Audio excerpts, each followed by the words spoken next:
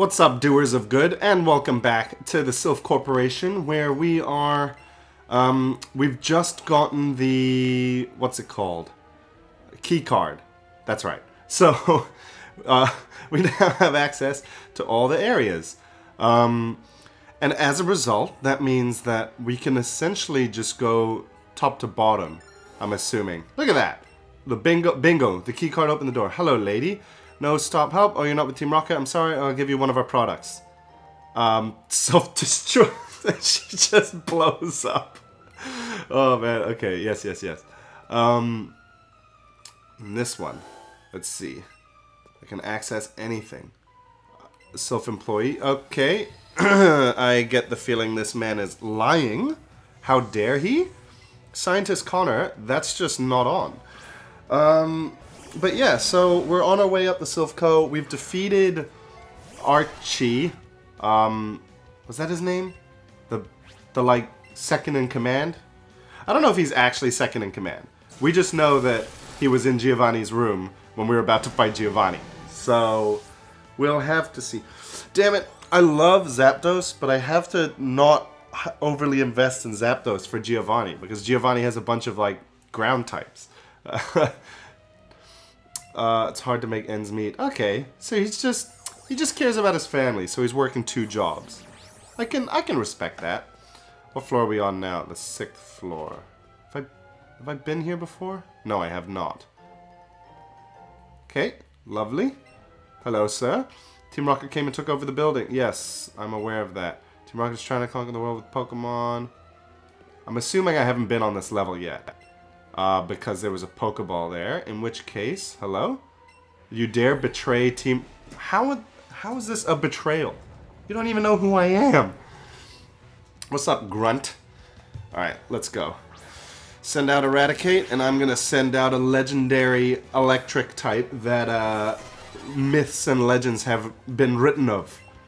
What are you going to do? I'll tell you what you're going to do. You're going to get wrecked. Damn it! Freaking quick attack and sucker punch, stupid ass moves.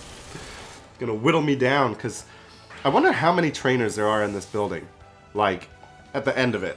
Because I mean, I this is one of those things where which I always I hope it's not boring for you guys. I really hope so. Cuz this is what I used to do when I when I play the games back in the day. It's like um you just have to challenge everyone, you know? Like, yeah, there's like, if I guess if I was like speed running the way that I know that like some speedrunners play these games and stuff, that's not how you'd play. But I'm not speed running, and I want my Pokemon to get as powerful as possible. So I'm gonna take. You'll never be on our side, okay? Um, but yeah, so I don't know. It's just. I, I just want all the XP, essentially. And that means killing every single Pokemon in the building that belongs to every single dude. Which is like, you know, I think a fairly, uh, fairly uh, admirable quality to have in a person. Alright, come here, Mr. Scientist. That rotten president serves him right for transferring a star employee like me off to the boondocks. Okay. So there's disgruntled employees that aren't happy with the way that Silph was running as well. So it's not as cut and dry as they might have you believe. Alright, um... Magnemite. I'm guessing electric is... Uh, but it's still more powerful than Drill Peck since he's also steel. Um, okay, no worries. Not very effective, and yet he's dead in one hit. uh, Alright, what's next? Would you, another Magnemite? Alright, I got I got something for you. I got something for you, man. D damn it! No! That's this is the one that I meant. I got something for you, Magnemite. Alright. Ugh, when the hell is Charizard gonna learn Flamethrower? I mean, Ember's fine. For now. But in the long run, it ain't gonna it ain't gonna cut the mustard. You know what I'm saying? Alright, well, for now it's cutting the mustard. Not that mustard needs to be cut. It's... Wait, is that... Is that a saying? I've been having this recently where I keep thinking random thoughts.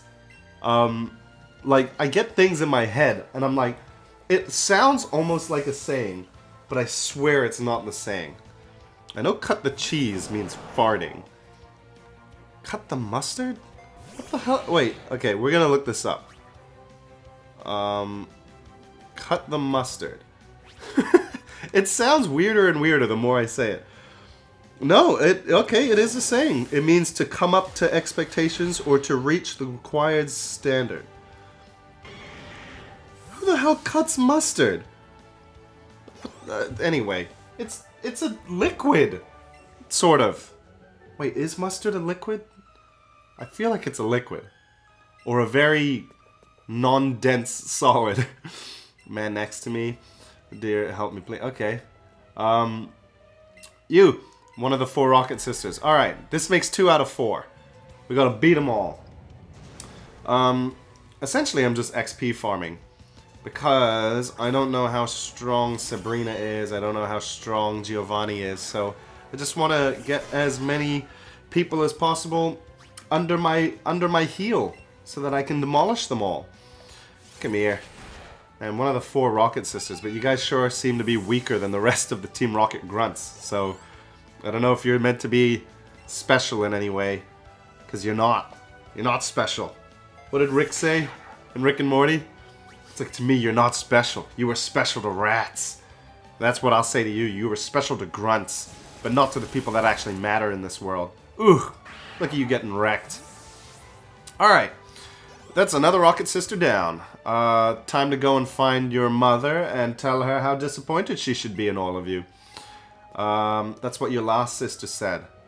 Didn't work out too well. Wait, where's this going? Wait, is this the one? This is the one I arrived on, isn't it? Damn it. Alright, well there's one in here. Let's see where this one goes. We were on the sixth floor. Is back on the second floor. And where are we now? This is the third floor. Okay, fine. Um, have I been here? No. What am I to do? Um, you're meant to not be a pussy. That's the solution to life. Doesn't matter where you work. Alright, in we go. Um, they're looking. are those the those are those the Master Ball schematics? What's going on? First that kid who was annoyingly strong, and now you. Why are kids allowed in here?